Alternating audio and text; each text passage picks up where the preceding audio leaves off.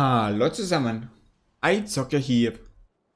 In diesem Video zeige ich euch die Quest der Obelisk der Sonne anzunehmen bei High Love Divine in Uldum an dieser Position.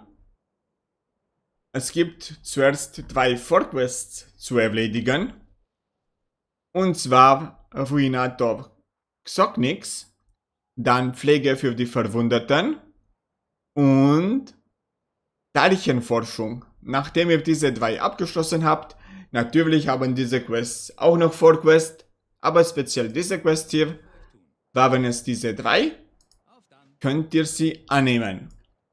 Nun soll ich Auswotterin Zava finden am Obelisken der Sonne. Während des Fluges der Hinweis, dass ich eine Facebook-Seite habe.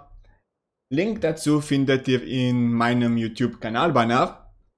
Auf der Seite poste ich des Öfteren, was ich gerade aufnehme oder was als nächstes ansteht oder was schief läuft auf dem Patch-Server. Dürft die Seite auch liken, abonnieren, wie ihr wollt. Sie dient dazu einfach, euch ein bisschen auf dem Laufenden zu halten. Da bin ich auch schon.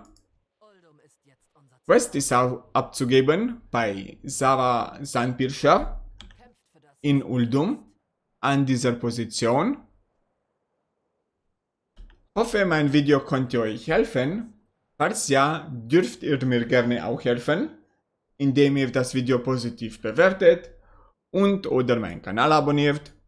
Ich blende euch auch so einen Abonnierknopf ein hier in der Mitte. Würde mich freuen, wenn ihr den benutzt. Eizocke Ende.